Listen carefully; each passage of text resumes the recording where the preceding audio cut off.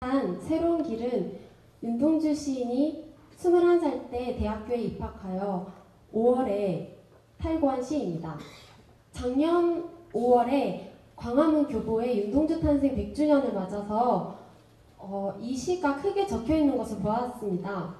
윤동주 시인은 일제의 탄압 아래에서 어, 시로 등불을 밝히고자 하였고 시를 통하여 비폭력으로 저항하였습니다. 그의 시들 중 새로운 길은 미래를 낙관적으로 바라보며 암담한 현실 속에서도 뚜벅뚜벅 나아갈 길을 보여주고 있어 밝게 작곡하게 되었습니다. 연주자분은 성악가 김민석입니다.